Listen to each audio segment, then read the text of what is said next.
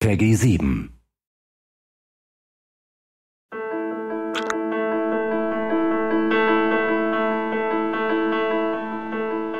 I'm Coeur de Pirate. I'm a singer songwriter from Montreal, and I compose the music for Child of Light.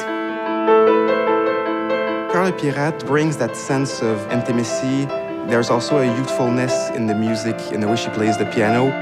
My experience with Ubisoft was great. I was there from the beginning, so I remember when they asked me to do it, they didn't have like that much material for me to work with, so I got to have this complete freedom. And then when I first saw the, the, the images, I was thrown away. I thought it was wonderful. Uh, it was so beautifully made. There's so much depth to it all, and I really felt that I could uh, work with that. For me, the music was there to create that sense of intimacy, of nostalgia when we're exploring, but also that sense of energy uh, that we have when we're doing fights or boss fights. At first, it was supposed to be something really small, just like a piano and guitar and maybe a cello. And it was kind of a challenge because whenever you get into a boss fight, it gets so much more intense.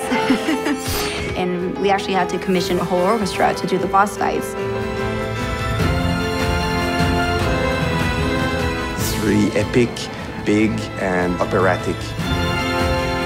I remember seeing for the first time the music on the images and I kind of teared up a little bit because it's just so wonderful to, to see something come to life like that.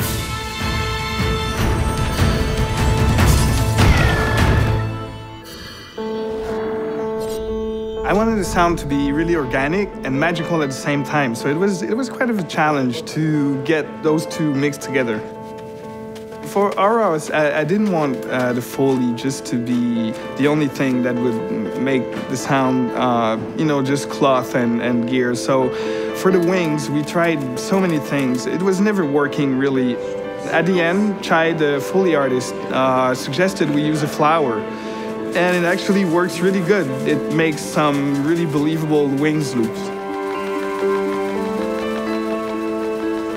We also work with Cirque du Soleil to really help enhance the sense of theatricality in our game. My first impression of this project was wow, this looks wonderful, it's beautifully designed. I think it's a breath of fresh air in a world where most video games are based on, on muscular demonstrations of graphics and power. Working with Cirque du Soleil brings us their world-class experience in realization and also in terms of design, they're used to create those extravagant costume, those exotic world. And for me, that was a perfect match with Child of Light.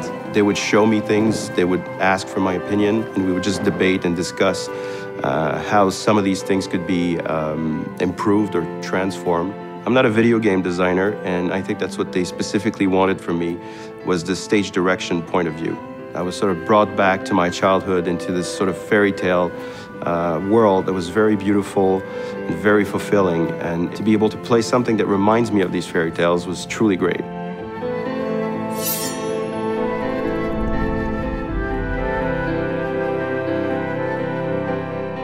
The writing in Child of Light is entirely in rhyme, and so I had to really um, treat almost every stanza as a puzzle.